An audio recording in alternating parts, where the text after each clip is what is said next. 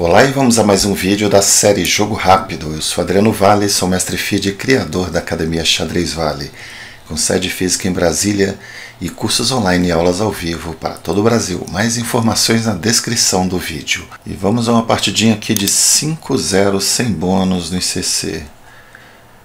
Eu não gosto do fato de ser sem bônus, mas gosto desse emparceramento automático que não tem rematch, né? Você joga uma partida e é o Serven. O Serven eu já enfrentei aqui com certeza. Não lembro bem assim do que aconteceu na partida. Mas vamos lá. Eu acho que eu joguei Khan contra ele e ele joga uma variante que vem aí com cavalo é 2, né? Vou jogar Taima 9 aqui dessa vez. Jogar o dama aqui. Agora a 6. Essa é uma das posições da Taima 9, mas também pode ir para Cheveningen. Né? Esse rei H1. Uma ideia agressiva. Cavalo toma bispo C5 é uma ideia. Está aí uma boa posição para estudarmos, né? B5, CF4, B4, né? Vou jogar B5. Ele pode tomar, eu tomo de peão. É isso mesmo.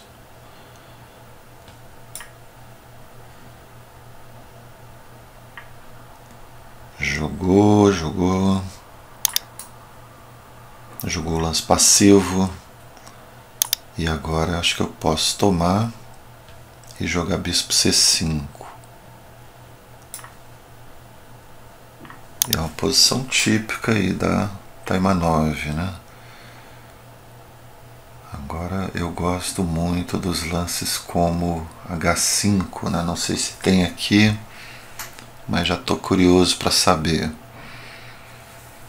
Também dá para jogar D5 ou mesmo D6, eu acho que é possível.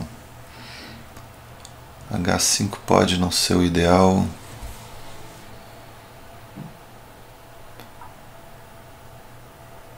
Vamos jogar D6, um pouco estranho porque o bispo já passou, né? Mas é uma possibilidade. Não roquei ainda, posso segurar um pouquinho. Olha só. Rock grande. Rock grande é interessante, hein? Pode ter combinações aí futuras. Eu estou vendo combinação em tudo agora. Rock grande. Vou fazer um ousado rock grande aqui. Ele pode jogar bispo F3. Depois eu venho com H5, meu querido H5. Se ele tomar, eu jogo cavalo G4 e vão para cima. Tô vendo combinações. Se ele tomar, eu tô abrindo a coluna H e eu tô ameaçando mate na dama aqui com torre de D G8. Tô ameaçando cavalo F2 também. Inspirado pela produção do curso de combinações Tô tomando café da manhã com combinações e indo dormir com combinações. Estou vendo muitas combinações. E é o que eu quero mostrar no curso, que o treinamento constante de combinações faz você enxergar os temas. Né? Não sei se, se vai acontecer a combinação, mas eu já estou vendo aqui um Torre H2 há muito tempo. Estou né? sendo atraído pelo tema.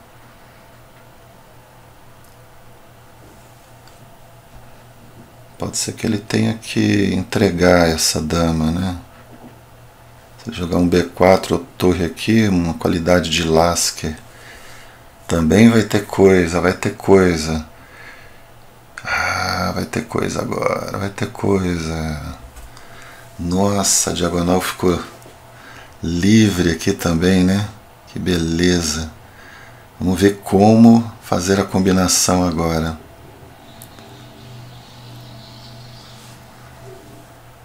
Como fazer essa combinação.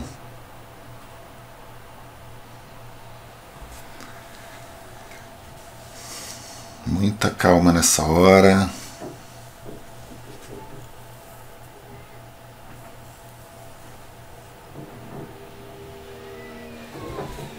Torre aqui. Torre aqui, ele joga dama F6.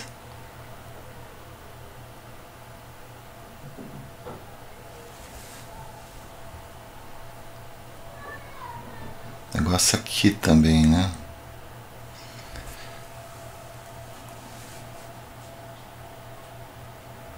Como seria a combinação? Tô vendo um tema aqui também.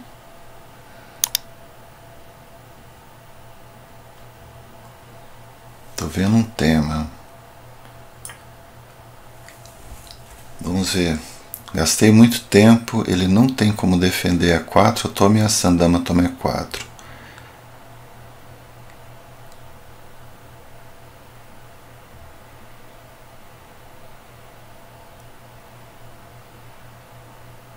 Ele pode jogar dama, toma agora, aí eu jogo F5.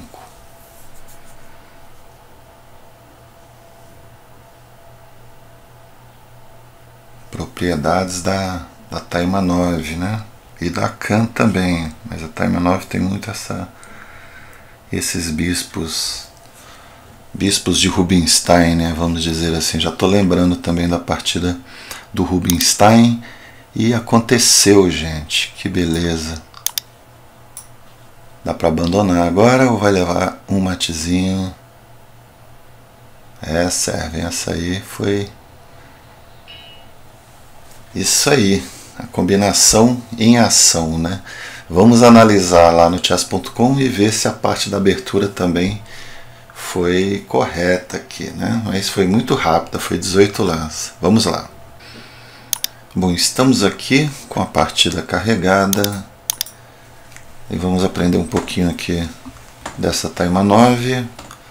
Ele foi direto, isso eu acho legal, o jogador que vai direto ao ponto, sem sidelines, né? Tem um treinador, o Chereshevsky, né? Que ele fala, recomenda formar um repertório logo no, no início do treinamento. Ele tem essa filosofia né, de trabalhar no repertório, mas ele não recomenda sidelines para os jovens lá que ele treinava, né? Porque depois ele cita até o exemplo do Sveshnikov, que começou a jogar o C3, a Lapin, né, que passou até a se chamar Sveshnikov de tanto que o Sveshnikov jogou, e ele diz que com isso perde o contato com as linhas principais, as mais clássicas, e uma hora que ele quiser mudar, não pode. Agora, se você já conhece as as partidas ao longo da história, você entra aí numa sideline sem perder o contato com as grandes partidas. Ou mesmo que você jogue uma sideline, não deixe de ver as outras variantes, né? porque tudo isso é cultura enxadrística, não, não é só para satisfazer o repertório né, que você joga ou ver partidas. Né? Você pode ver partidas de coisas que você não joga. Agora aqui Vamos ver o rei H1. Rei H1, bispo E3 é outra linha, eu posso jogar bispo B4 eu não gosto, tem um gambito aqui que é cavalo C6 e cavalo A4 também, outra versão do gambito. Ah, bispo E7 é o lance. E aqui vai vir C4. É, essa aqui é uma delas. Eu não gosto muito dessas linhas aqui com gambitos, tem umas linhas aí muito. joga C5. C5, essa linha aqui. Olha só a vantagem que tem na estatística para as brancas. E para você jogar um gambito, sai da, das ideias típicas e você tem que ter teoria. Então por isso que eu fujo dessas linhas aí. Então eu prefiro jogar aqui um bispo E7, um D6 e vai para as linhas de Scheveningen. Isso aqui já é uma Scheveningen, né? Então vamos ver o que seguiu. Ele jogou um outro lance, que é rei H1. Sabia que tinha cavalo D4 seguido de bispo C5. Mas eu joguei esse lance aqui. não muito jogado. É, cavalo toma, eu ia tomar de peão. Ficar nessa estrutura aqui, querendo jogar E5 agora, né? E B4 também. Essa linha Bom, essa aqui tem um F4, parece que é o mais jogado. Eu acho que joga E5 também é possível. Bispo B4 tem. Tá vendo? É uma linha um pouquinho desconhecida, mas tem que preparar um pouco, né? Então B5 eu só devo jogar se tiver convicto aí da linha, mas foi um bom teste para saber, né? E a gente pode decidir talvez por bispo E7 mesmo, levando para Cheveningen, né? Aí vem F4, D6, também é uma possibilidade aqui. Então tem vários caminhos para você jogar Cheveningen sem enfrentar o ataque Keres, que é o G4, né? Logo no início. Mas vamos ver como seguiu. Ele jogou A3, aí eu joguei bispo B7 dando um jogo igual, F4, cavalo toma, dama toma, bispo C5 foi a indicação do engine, ele gostou, dama D3, D5, como eu joguei na, na outra partida da série, né, eu joguei essa mesma posição, quer dizer, similar, né, só que o adversário estava com a dama em F3 e o bispo em D3, e eu joguei D5. Aqui eu joguei D6 que é excelente, roque é melhor. E D5 também, né? Bom, ele veio com esse, que é duvidoso. Eu poderia ter tomado em A4 logo, né? Mas fiz o rock grande. Que ele disse que é uma imprecisão, mas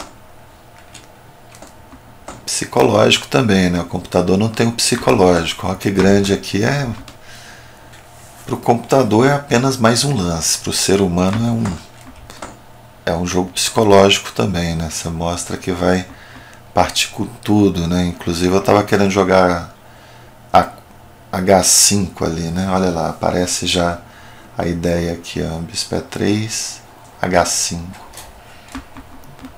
Bispo F3, H5 também, primeiro lance. É o melhor. Interroga. Aí ele ficou pagou para ver, né? Se sentiu desafiado, né? Vou tomar mesmo. E aí veio esse que é o melhor. Já está sendo apontado ali. E esse duas interrogações, cavalo D1 era melhor. Cavalo D1 dá a casa C3 para dama. É verdade. Mas tem E5, interrompendo, deixando a dama presa, né? Se cavalo D1 é 5. Então veio esse, eu abri a coluna G3. Aqui vamos ver, vamos ver as opções. Nossa, aqui o B4 era a torre de DG8 mesmo. E aí se ele joga a única casa aqui que salva a dama, eu tenho G3 ameaçando mate. Se toma, olha, já surgiu um Damiano aqui, ó. Se toma, Toma, região 1, dama cheque. Mais que o Damiano. Ele não tem nada para cobrir, senão eu teria torre H1 e dama H5. Mas tá fulminante aqui. Pode entregar as peças aí na diagonal e leva mate. Então, vamos ver o que mais que teve aqui de, de lances interessantes. Dama G8 é a ideia. Então, vamos voltar aqui ele jogou G3. Aí tá dando torre de D G8 e ele tá entregando, né? É, foi bonito, perou no mucho, mas eu devia ter jogado mesmo esse, por que não, né? Ou torre H3 e depois eu jogava esse. Achei até que tinha acontecido isso, mas olha só, se ele toma aqui, o F5 é muito forte. Mas ele não deu ainda o F5. Dama E2, grande vantagem o tempo todo, né? Torre de DG8, D5. Nossa, o D5 é, é lindo, hein?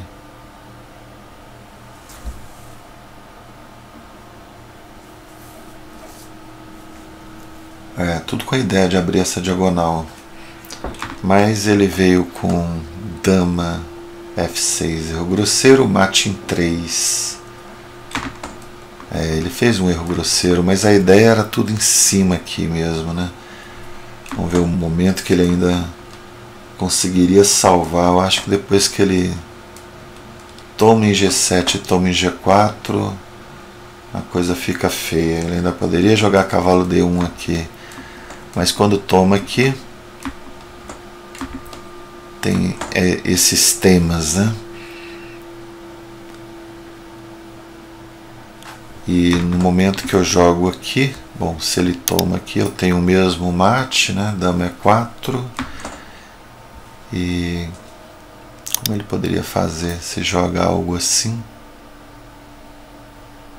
Torre H3 para jogar torre H8 ou D5. Aí o D5 é muito interessante se toma, eu sacrifico. Sacrifico. E quando joga esse, outros sacrifícios, né? Aqui já pode, ou aqui. Olha como é que está repleto de temas. Desvio, bispo mate, ou jogar aqui na coluna, atraindo o cavalo para o bispo poder entrar, né? Então cheio de temas de mate, mas eu considero que não é tão complicado, né? Isso aqui ele deu como erro porque ele considerava torre de DG8 dava 8 pontos, é aquela precisão do engine. Mas esse aqui, ainda mais no calor de um blitz, é muito bom, né? Tanto é que funcionou aqui. Bom, devo perder aqui um pouco da precisão, mas vamos ver lá quanto deu. 93.8. Tá bom. Esperava por esse sacrifício de dama ele fosse dar um pouquinho mais de ponto, né? Mas eu entendo. Ele tirou uns pontos ali dos momentos anteriores, né? E realmente o rock grande foi foi arriscado, mas cumpriu a ideia aí tema, né, o espírito da linha e da maneira que eu gosto de jogar com esses lances tipo H5, né? Sempre vou explorar bem esses lances, pesquisar um pouco de partidas, modelo que tem esse lance. É uma ideia que a gente encontra muito na Cana até 69. Então é isso, até o próximo vídeo da série Jogo Rápido. Até lá, valeu!